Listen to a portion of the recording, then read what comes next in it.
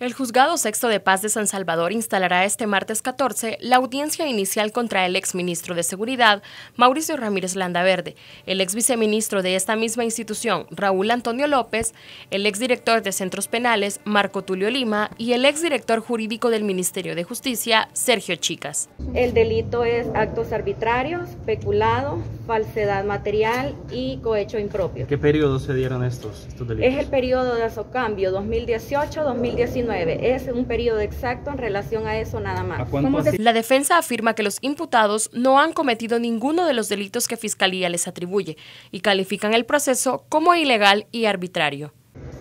Tenemos pruebas suficientes que demuestran a dónde se invirtió y se gastó cada centavo que ingresó en las tiendas institucionales. Y ningún centavo y ningún dólar fue a parar al bolsillo de ningún funcionario. ¿En qué se invirtió? En programas de rehabilitación. Además, agregó que es falso que los implicados hayan utilizado fondos públicos para beneficios personales. Es mentira que hayan adquirido vehículos en su provecho propio, ni ningún bien en provecho propio.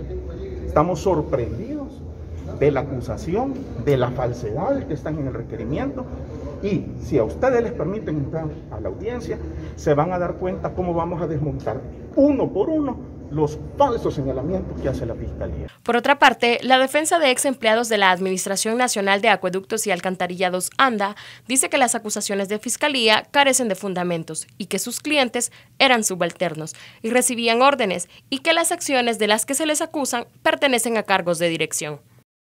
A mi representado le están atribuyendo el delito de cohecho impropio. La Fiscalía ha tratado de, confundir y decir, mire, pero es que era dádiva y no era pago de horas extras. Son muy diferentes. El Código de Trabajo y la Constitución ha manifestado que aquella, cuando salen de las ocho horas, eh, ¿verdad? todo lo demás se llama hora extra. Y eso es lo que Fiscalía eh, ha tratado de confundir y sobre eso vamos a basar nuestra defensa.